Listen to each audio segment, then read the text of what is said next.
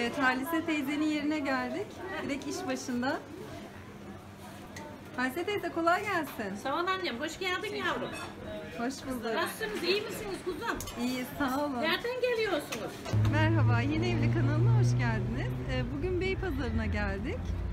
Ee, Sloganı hatta şuradan da görebileceğiniz üzere alabiliyor muyum? Tam emin değilim. Ee, Zamanın durduğu şehir, Beypazarı'nın mottosu. Gerçekten buraya geldiğiniz zaman o odun pazarı evlerine benzeyen, bu Eskişehir'deki, Safranbolu'daki bu ahşap evlere benzeyen evleriyle, halkın yöresel kıyafetleriyle, atmosferiyle sanki adeta bir zaman makinesinin makinesindeymişsiniz gibi hissediyorsunuz. Şimdi başlayalım o zaman. Şöyle turistik caddesine doğru yürüyüşe başladık. Şimdi birazdan göreceksiniz zaten sağlı sollu dükkanlarda yöresel kıyafetli teyzelerimiz çok lezzetli ve fiyatları da çok uygun. İkramlarını, sunumlarını yapacaklar. Beypazarı'nın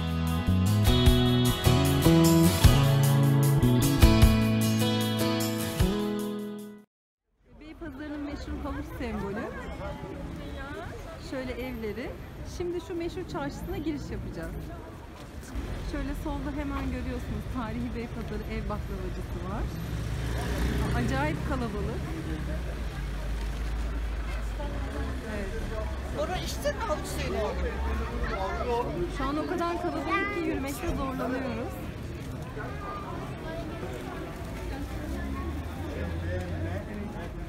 Evet hemen sağ, e, solda görüyorsunuz Beypazarı'nın meşhur baklavası Beypazarı kurusu.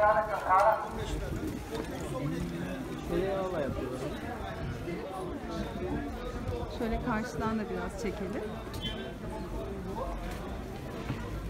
Şimdi şöyle yürümeye devam edelim. Böyle yöresel ürünler satan sağlı sollu dükkanlar.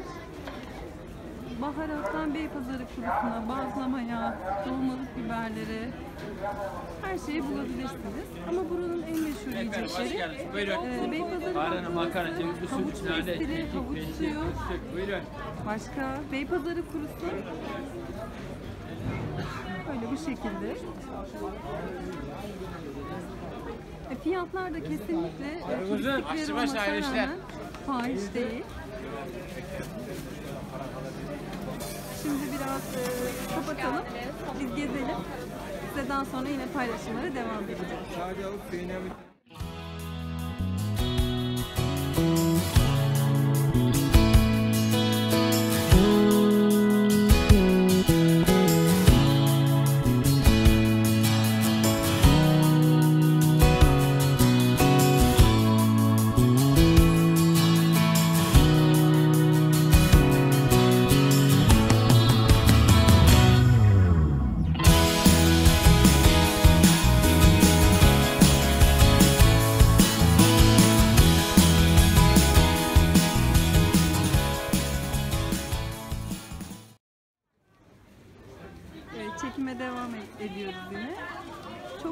Hanımeli fırını var burada. Yine Beypazarı kurusu dağıtan. Böyle ikramlı. Sıcak, taze tereyağlı efendim buyurun. Teşekkürler. Buyurun tadına bakın. Bakın böyle tahta kaşıklar veya çocuklar için böyle tahta oyuncak, oyuncaklar var. Evet, şimdi biz Halise teyzenin yerine oturacağız. Şöyle göstereyim, çok kalabalık. Şöyle gözlemeler sıcak sıcak. İçeride baklavalar, bayağı bir çeşit. Şöyle oturacağız.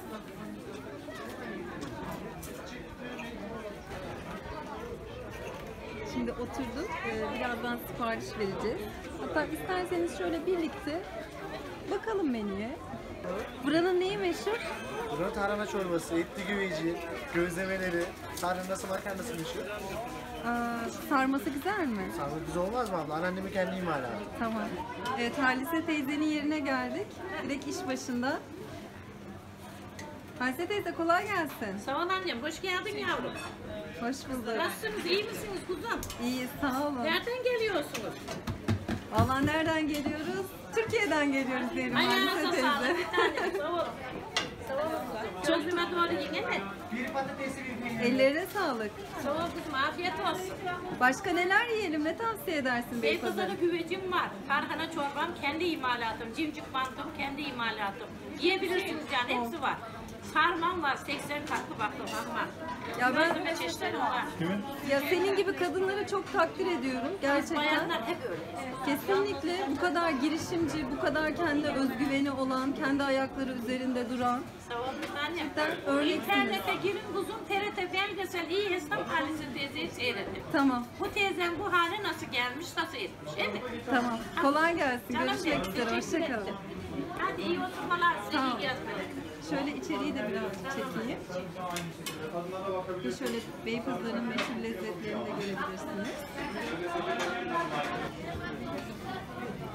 Evet şimdi terkari işi e, gümüşleri size göstermeye çalışıyorum. Bakın şöyle gördüğünüz gibi ince bir ustalık gerektiriyor. Evet.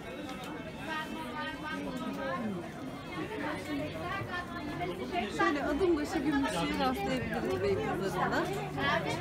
Yine bakın şu bilekliklerde yine terkari. Ve fiyatları da gerçekten öyle çok pahalı değil. Sevdiklerinize böyle hediye alabilirsiniz. Yine bir Beypazarı ürünüsü.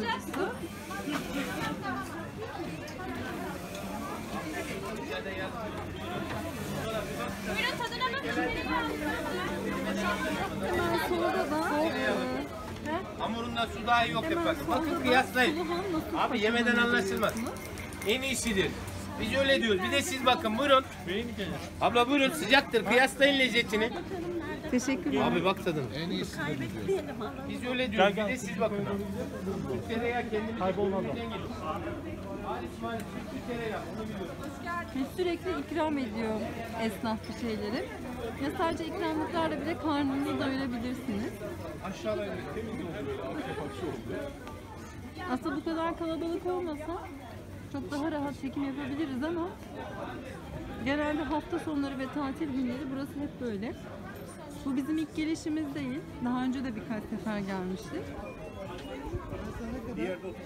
Bakın şu ileride bu Beypazarı'na özgü taş baskının satıldığı eşarplar veya siz isterseniz dekoratif amaçlı masa örtüsü olarak da kullanabilirsiniz. Bakın şöyle bir sergi var.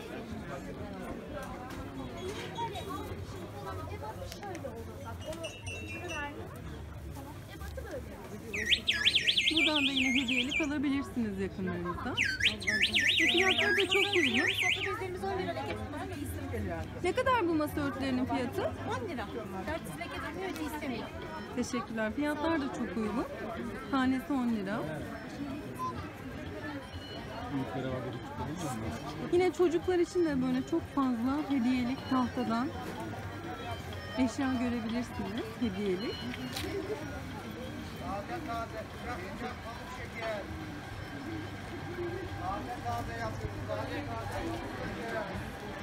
Bugün de hiç bulut yok. Ee, çok aydınlık sıcacık bir gün. Işık da çok iyi. Ters ışık olmadığı sürece. İnşallah.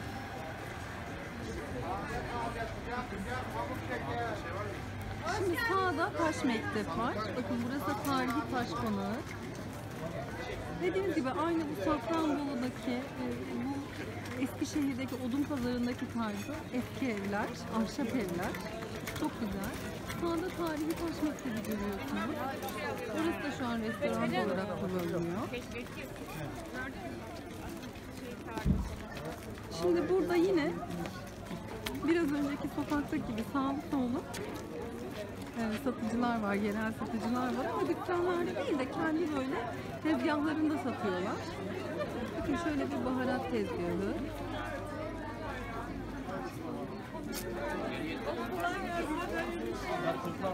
Bakın Şöyle yine bir teyzemiz baharatlarını satıyor.